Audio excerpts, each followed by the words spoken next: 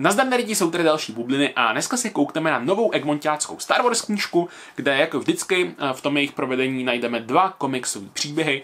První je Vader sestřelen, druhý věznice povstalců píše Jason Aaron eh, s tím, že Vader se střelne vlastně crossover mezi hlavní řadou Star Wars a mezi sérií Darth Vader, takže se na něm podílí i Kieron Gillen.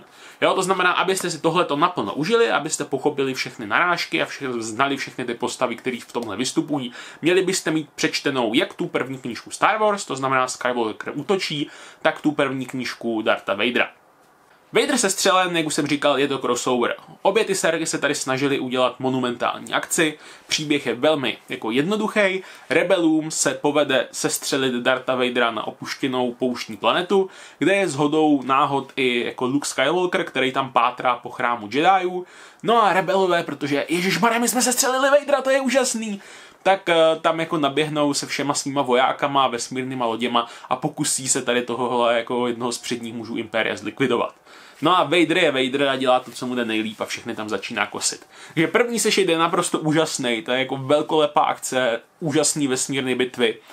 A pak ta sérka pokračuje hod takovým tím jako typickým duchem crossoveru, jo. Máme dva týmy, ty týmy se potkají a pomlátí se a ho tam jako občas pak ještě začnou spolupracovat mezi sebou. No, prostě úplně základní šedesátková šablonka, jo, takže když máme, máme tady celou tu skvadru postav z Darta Vadera, to znamená doktorku Afru, ty její zlý droidy, a vždycky se ten jakoby zlej proti podcastu hodnou postavou, jo? takže se tady Chewbacca mlátí se zlým Vukým a R2D2 se mlátí s tím zlým jako robotem a Čekal jsem asi, že jako od toho, z toho ty tvůrci vymáčknou víc, jo? že jako když už dělají takhle jako monumentální crossover a slibují velkolepou akci, takže nepůjdou cestou tady toho, té základní šablony, jo.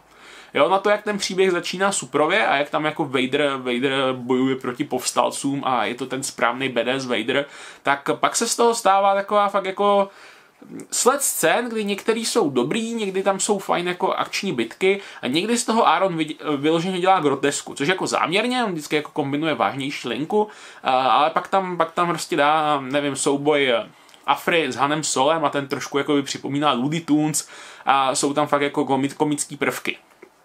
Trošku to rozbíjí kresba, kdy každý se šide vlastně z jedné řady a střídá se tam Mike Deodato junior s Ježíšmaré Larokou a každý z nich k tomu přistupuje úplně jinak.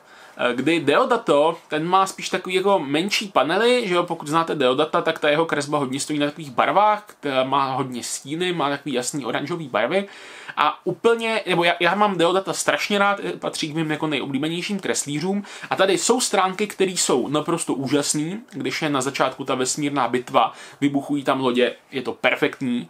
Eh, když se tam eh, jako na zemi mydlej roboti, jsou tam výbuchy, je to perfektní, ale jakmile je tam ta komika, tak ta jako Deodatovi úplně nejde. Navíc jako z té jeho kresby mám strašně jako pocit, že se mu nechce kreslit ty filmové hrdiny. Jo, že jakmile by měl zabrat z detailu Luka Skywalkera nebo Sola, tak se tomu spíš brání a proto ty postavy tam hodně tak jako dává z dálky nebo třeba z profilu, otočený otočený ze zadu, případně mají přes obliče jako stín a zkuste si toho všimnout, je to tam podezřele často. Oproti tomu Laroka je spíš takový jako klasický mainstreamový styl, ten se těch postav vůbec nebojí, občas mě nesedlo, jak jako vypadají v obličejích, kdy Luke je místo taková jako modroká panenka, a je, jako ty dvě kresby se strašně mládí, když jsou vedle sebe, jo? že to není úplně jednotný styl, že kdyby tam dali dva kreslíře, kteří jsou si stylově podobný, uh, tak by se mi to asi líbilo o něco víc. Jo, jako Vader se střeleně dobrý akčňák, jako plní to všechno, pokud jako chcete setkání týmu Vader a týmu Rebelové a pojďte se mlátit, tak to přesně dostanete.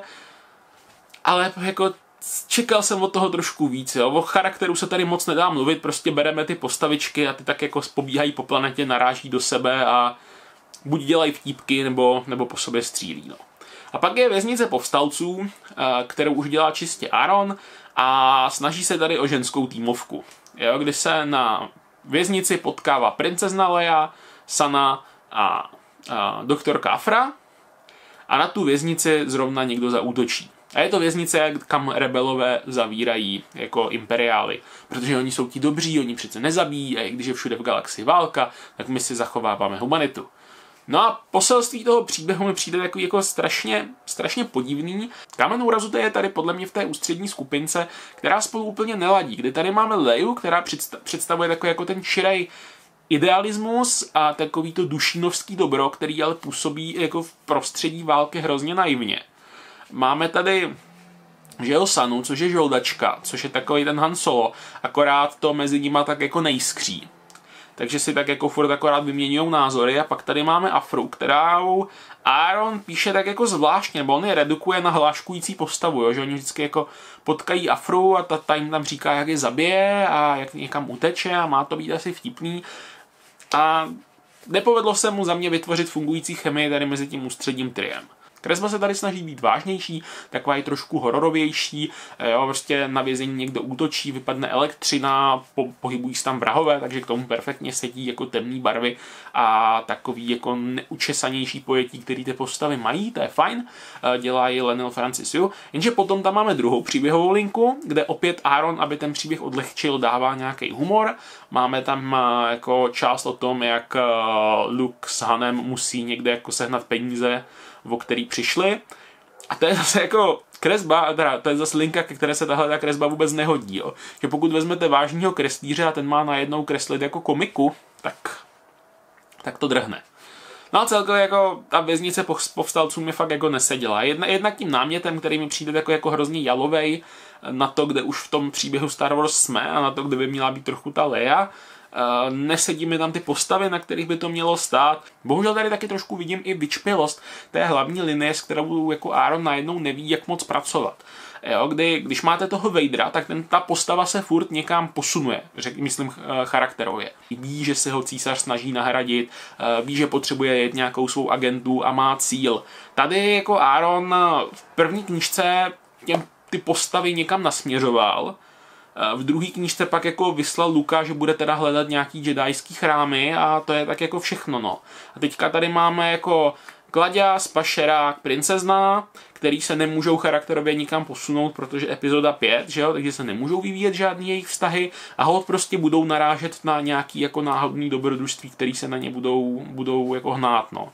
Záleží, jestli vám tohle stačí, Uh, mě úplně ne a hold tady není ani dostatek jako nových vedlejších postav, který by to táhly, jo? kde jako Sana je kopie Sola, nudně, mnohem nudnější kopie Sola a Afra se Aaronovi úplně nedaří. Dejte vědět, co vy a tahle knižka Star Wars.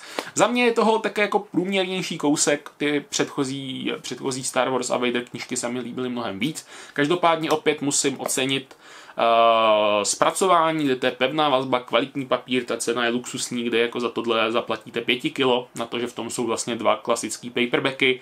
Co bych tradičně vytknul, nebo myslím, že už jsem to dlouho neříkal, uh, že tady chybí originální obálky, myslím, že by to třeba pomohlo v tom úvodním crossoveru, kde vždycky je najednou jako cliffhanger a začíná se šit s jinou kresbou, tak kdyby to oddělil, oddělila úvodní obálka, že by se to mohlo třeba i číst trošku líp.